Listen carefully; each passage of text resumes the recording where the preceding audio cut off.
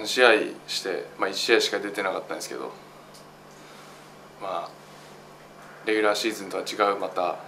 ピリピリとした感じが、まあ、ひしひしとブルペンで伝わってきましてまあ結果的に自分の全てを出し切れなかったのが、まああいう結果になってしまったかなと今思えば思ってます、まあ、まず試合数の数が全然違うんであとは毎日作るっていう中継ぎで入ってたんで毎日作るっていうのはやっぱりすごいしんどいものなんだなっていうのを改めて感じました。やっぱり甘い球は打たれるし、まあ、しっかり投げれば抑えれるっていうのはあるんですけど、まあ、狙われたら打たれるとかただいいところにいいボールを投げればいいっていうだけじゃプロでは抑えれないんだなっていうのは感じました。終盤はだいぶ慣れてきてあのどういかに少なく球数をして万全の状態でいけるかっていう状態にすることがまあ一番の課題というかだったんでそれが徐々に慣れてきてできるようになってきたのが、まあ、後半から良くなってきた要因じゃないかなと僕の中では少し思ってます。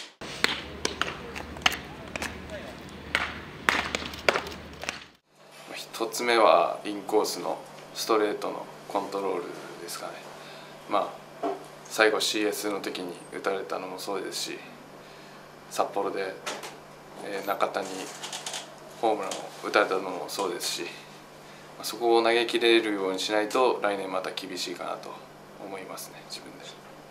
今一つ目とおっしゃい。ましたはいいや三つあります。まあ二つ目はまあ、スライダー系の球をしっかりと外に出し入れできれるようにするってとこですかね、まあ、それできるだけで右バッターにだいぶ違うと思うんで左バッターのうちにも投げれるように今から今取り組んでるところですね、はい。えー、3つ目は、えー、落ちる球空振りの取れる球っていうのをまあいろいろ試しながら今やってるとこです。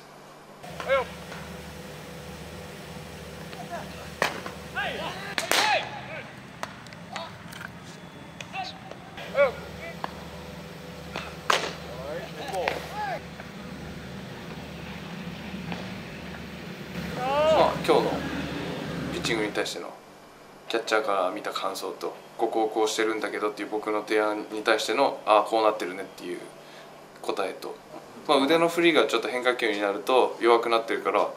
まあ、そこだけ気をつければいいんじゃないみたいなことを、はい、言われたんで。そうですね。まあ僕なりにこれは来年に向けていいなんていうんですかねいいものが秋でできたなっていう感覚もありますしまだもうちょっとここは詰めないといけないなっていうところもありますしまあ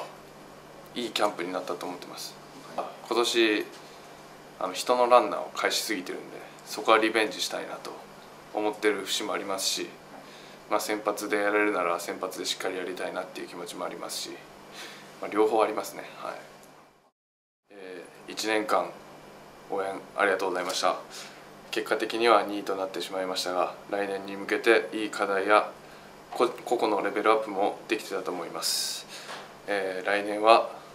1位という形をスタートダッシュして取れるように頑張っていきたいと思います。